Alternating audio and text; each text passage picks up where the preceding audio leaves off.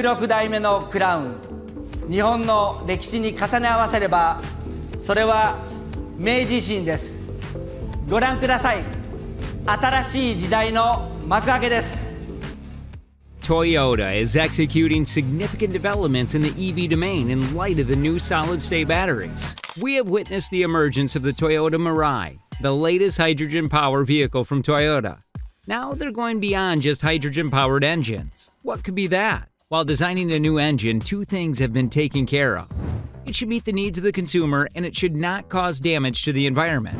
Hydrogen vehicles were a success in this, but many were scared of using these zero emission vehicles. What if hydrogen blasts? Ammonia is currently touted as a clean fuel for ships, airplanes, and trains, but China's GAC reckons it has potential in passenger automobiles as well. It created a combustion engine to verify the notion that it can reduce pollutants by up to 90%. Mr. Qi Hongzhong, a engineer at GAC Guangzhou, said, We've overcome the pain point of ammonia being difficult to burn quickly and put the fuel to use in the passenger car industry. In several ways, ammonia, NH3, transports hydrogen better than hydrogen. It's easy to deal with because it's liquid at room temperature and hence doesn't require energy intensive compression or cryogenic liquefaction equipment. Some of you might be hearing about this ammonia engines for the first time. Ammonia engines are simply internal combustion engines that run on ammonia and fuel.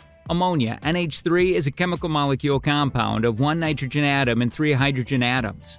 Because it has no carbon atoms, it does not emit CO2 when burned, unlike oil or gas.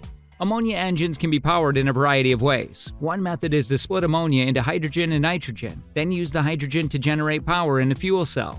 This means ammonia acts as a provider of hydrogen for hydrogen fuel cells.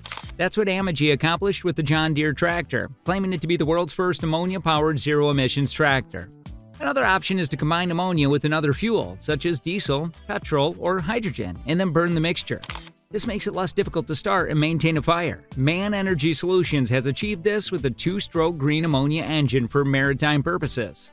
A further possibility is to employ ammonia as a single fuel, which necessitates the use of sophisticated techniques such as spark ignition, compression ignition, or homogeneous charge compression ignition. Because ammonia has high energy density, a low price, a relatively simple way to transport, and a quick refueling period, this engine type is regarded as better than others. Ammonia is also readily accessible and can be created from a variety of sources, including the plentiful components of hydrogen and nitrogen in the atmosphere. Toyota sees this possibility. As a result, it is teamed with GAC, a Chinese state owned firm. They've also revealed a prototype engine that runs on liquid ammonia. Guangzhou Automotive Group Company stated during a recent Tech Day presentation that it had created a 2.0 liter engine that is capable of securely and effectively burning liquid ammonia.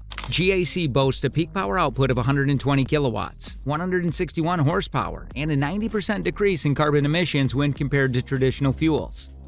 Toyota declared that their solid state battery will assist in cutting the cost and size of electric vehicle batteries in half. The weight, as well as the price of batteries, have been significant obstacles for electrical vehicles.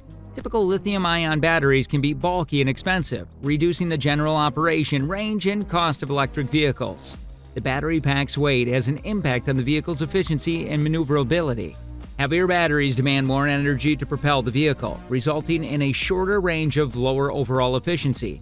Furthermore, the extra weight might damage the vehicle's equilibrium and stability, thus impacting the overall driving experience. Battery production necessitates complicated manufacturing techniques and costly ingredients such as lithium and cobalt. All of these variables contribute to the high initial cost of electric vehicles as compared to conventional automobiles.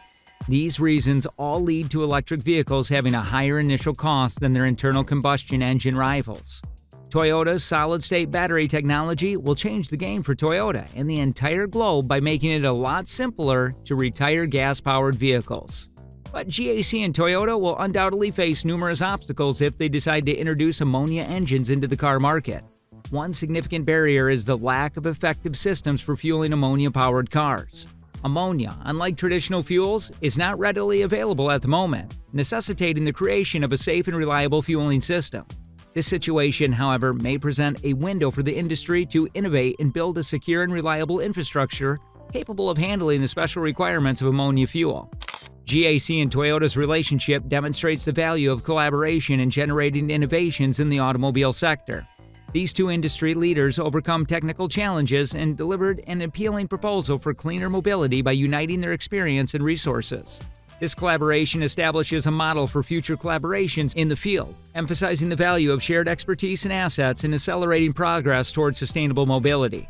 In conclusion, GAC's prototype engine that runs on liquid ammonia represents a big step forward in the hunt for alternative fuels. Ammonia powered vehicles have been predicted to revolutionize the automotive industry due to their ability to dramatically cut carbon emissions and their growing popularity in passenger vehicles.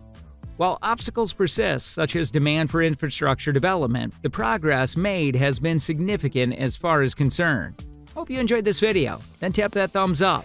Comment down your thoughts on these all new ammonia engines. Will you be ready to switch to ammonia engines in the future? Why or why not? But it's really good to see the automobile industry is evolving every second. See ya.